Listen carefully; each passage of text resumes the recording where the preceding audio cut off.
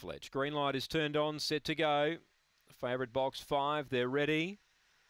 Set, racing. Rockstar Fletch began fair. He's trying to muster up. There is speed coming out deep. Daniels Charlie gets over. Favourite got chopped out. Rockstar Fletch and has gone back to last. So Daniels Charlie takes over and zooms away to lead by two, but collecting's right there.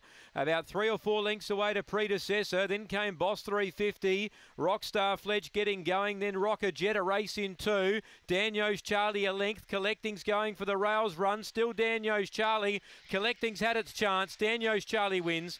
Collecting second, predecessor third, Boss 350 fourth, the unlucky Rockstar Fletch in fifth, and Rocket Jet last in time. They've broken 30 around 29.90.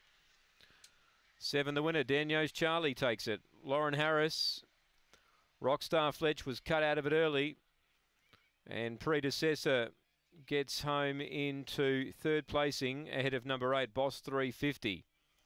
Half a length, the winning margin here at 7 1 2 and 8 on race two. 7 1 2 8 on the second.